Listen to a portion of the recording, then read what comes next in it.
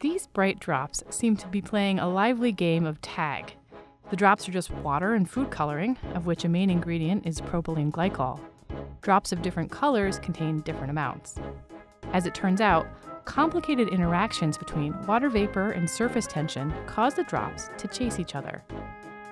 As two nearby drops start to evaporate, the space between them has higher humidity, so they each evaporate less water on that side. Higher humidity also means greater surface tension, which pulls the drops together. When the drops get so close they can almost touch, things get really interesting. Propylene glycol has a lower surface tension than water, so of two differently colored drops, one will have higher surface tension than the other. That pushes it away. The other drop follows, and the chase is on. Based on this discovery, researchers have created fluid machines that can drive the dots around courses and sort them by color or concentration.